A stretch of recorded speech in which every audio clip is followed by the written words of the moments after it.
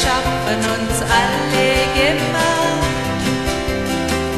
Das Universum auf seine Bahnen gebracht. Am Kreuz von Golgatha hast du für immer gesiegt. Du kommst bald wieder und dann bist du